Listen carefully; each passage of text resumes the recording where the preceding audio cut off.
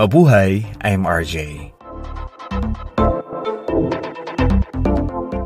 I started using alcohol-based markers for my drawings in college when manual drawing and rendering of architectural plates and works were still a thing. Right now, I know things are much easier using different architectural software and programs. And it's a good thing because we have to keep up with the current technology. Plus, using these programs saves time and material costs in general.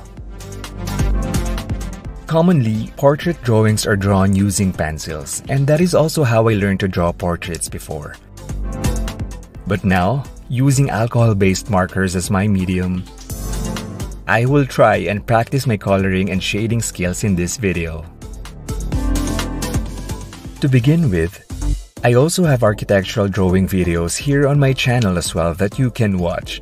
The drawings I made are buildings here in the Philippines. Most of them are churches, and I would appreciate it if you take the time to watch them as well.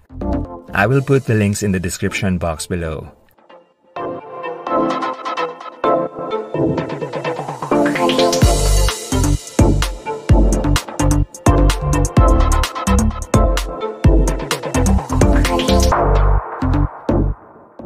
Before starting to draw a portrait, I sketch out my composition lightly using a pencil to plan the placement of everything. Sometimes I also put light lines to remind me of where the shadows and highlights are in the drawing. Then, using my kneaded eraser, I slightly erase the majority of my initial sketch just to give me a cleaner canvas to start on. Once done, I will then start with a lighter shade to act as a base for everything, like for the skin, the hair, and the clothing.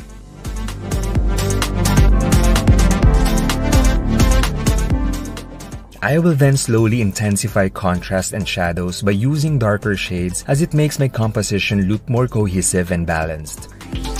I believe it's easier to add colors and intensify later on, rather than to erase once it's already full on heavy color. That's why it's really important to take time to do it like slowly but surely.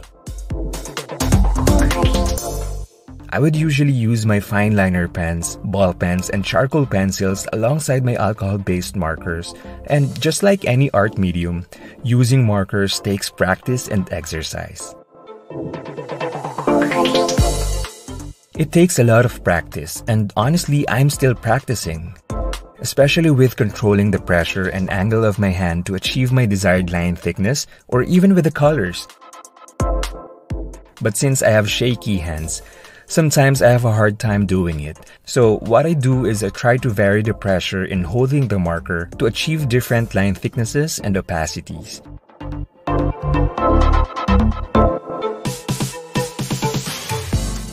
There are a lot of cheaper marker brand options already that give the same output as the more expensive ones.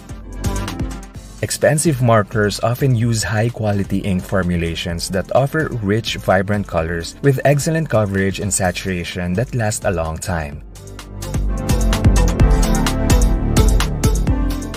But there are also benefits to using cheaper markers, especially for beginners or those on a tight budget, making them accessible to artists of all skill levels, including students, hobbyists, and those just starting as it allows every user to experiment with different colors and techniques without breaking the bank.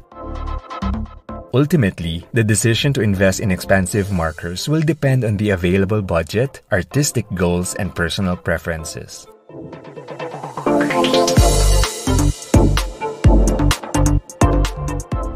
To be honest with you, there are times when I don't quite like my outputs. It may be about the symmetry, the composition, or I don't know, sometimes I'm just not in the mood. And every time that happens, it frustrates me. But it's okay.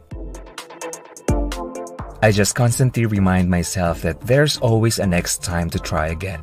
As long as I am consistent, committed, and dedicated, I can always try again. And you can always try again too. I believe improvement takes time and dedication, and it's important to be patient and embrace the learning process and the progress we make along the way.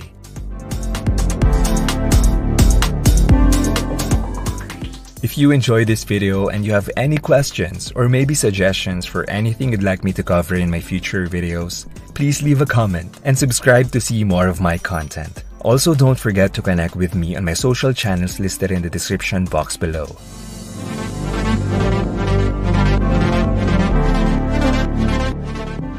Remember to keep practicing your skills. Experiment with different tools, have fun, and let your creativity flow, just like what I did today.